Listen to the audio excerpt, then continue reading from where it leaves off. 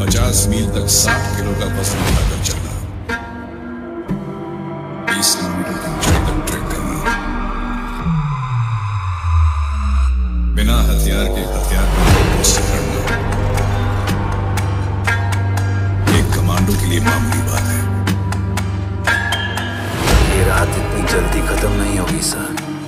अभी बहुत कुछ होने को बाकी है।